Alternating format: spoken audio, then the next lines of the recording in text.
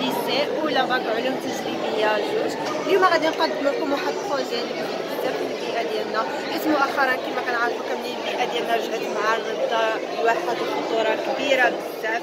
بحيث أننا رجعنا كنشوفوا الناس كتشوف واحد الهواء اللي هو ماشي مرة. قلنا غادي نعملوا اعاده تدوير لهاد العجله هذه. سواء السيارة أو الشاحنه اللي عملنا من خلالها الكرسي اللي هو على هذا الشكل هذا.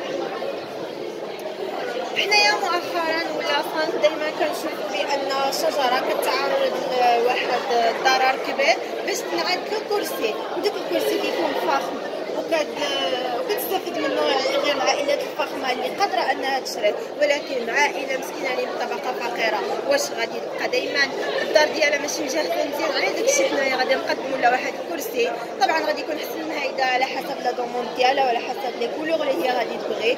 وغادي نعملوا لها عجلة من طبلة من كرسي وهكذا غادي تمتع. حتى هي واحد منظر مزيان وتكون فخورة بالمنزل. الرفاهيه اللي هي. كت كتستفيد من هذا الشيء كتكون عاجبها دارها ولكن كتضرنا بزاف حيث كتخلينا نستنشق واحد الهواء اللي هو مضر بزاف. كما كنعرفوا كاملين برا الناس كتحرق هاد العجلات. إذا كتخلينا مضرين بزاف.